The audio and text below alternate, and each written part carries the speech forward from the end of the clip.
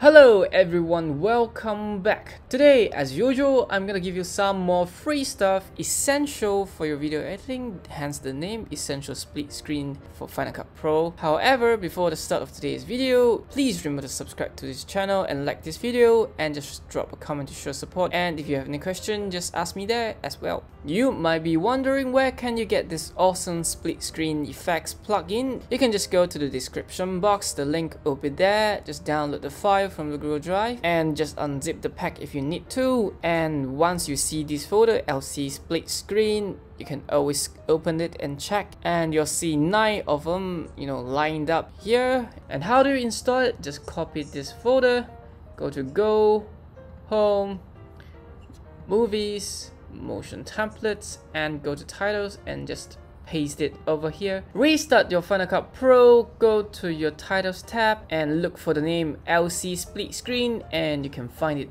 over here, nine of them. And all these titles are simple because you can just drag them from the titles tab and apply them simply like that and shorten the time like this. And let's go to the events tab and next step is pretty important. Please remember to go back to the starting position of your entire title and go to the titles inspector and find drop zone and click on this drop zone and find the clip that you want for the split screen. And you know you can place your playhead at the position that you want it to be for example this particular frame or and just click on this particular position and hit apply clip.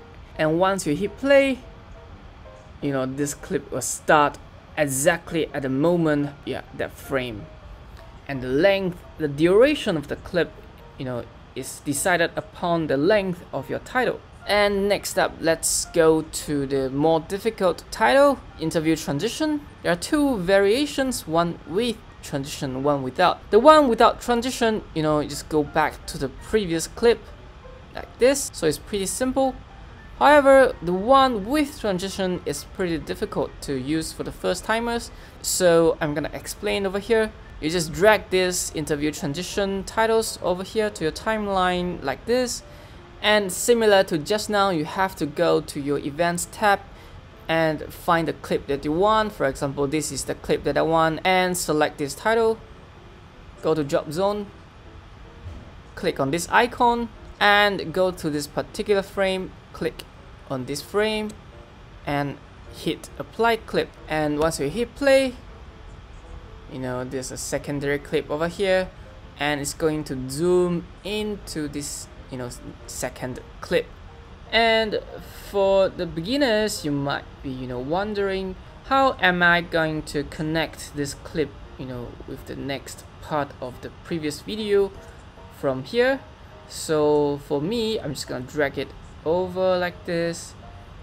And you know when it ends this is the exact movement on the original clip but if I don't want it to continue from that part I can select for example this frame and cut it and just drag it over to this position. And now this title functions as a transition. Pretty simple and pretty cool. Just take a little bit of effort. Lastly is this zoom meeting kind of a title is kind of difficult because you have to add in eight separate screens. It's pretty difficult to find eight separate interviewees or whichever subject that's not me. So I've used eight other clips of mine and you know I use it on this title just to demonstrate to you. So I'm gonna just drag this Zoom meeting title like just now to the timeline like this and once you hit play you realize that this zooms out you know with this share icon and you can actually change the words but I don't think it's necessary. And when the title ends this thing zooms back into the main frame. And you know you can always disable the built-in and build-up effect so the entire thing just jumps out. But I think the built-in and build-up is kind of cool so you know it's good to have and as usual you need to find a lot of clips. So now I have all my clips over here. And how to apply them is pretty simple. Same as just now but it takes a little bit more time.